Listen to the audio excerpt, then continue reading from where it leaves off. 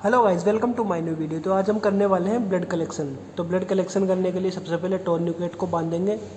टोर्निकेट को बाँध देते हैं, इसको थोड़ा टाइट बांधेंगे ताकि वेन हमें आसानी से दिख सके। तो इसको एल्बो के चार उंगली ऊपर बांधना है और पेशेंट से कहना है मुट्ठी बंद करो, अंगूठा अंदर करके। तो मुट्ठी बंद करवानी है और हमें वेन फील करके उसमें से सैंपल लेना है। तो सिरिंज तैयार कर लेते हैं।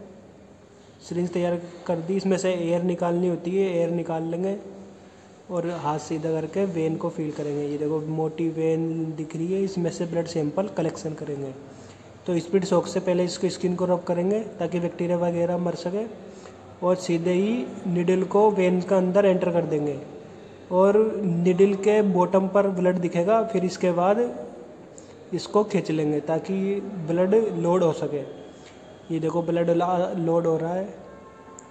इसको एक ही बार में निकालना है। अगर स्लो स्लो ब्लड लेंगे तो उसकी प्लेटलेट भी टूट सकती है। इसलिए एक ही बार में बिल्कुल सीधा लेना है और हिलाना नहीं है इसको। निडल को हिलाएँगे तो फिर वो वेंस के इधर उधर टच हो जाएगी। तो टोनीवेट खोल देंगे और स्प्रिट का सोक का टुकड़ा लगा देंगे और पेशेंट से कह देंगे, दबा लो उंगली से।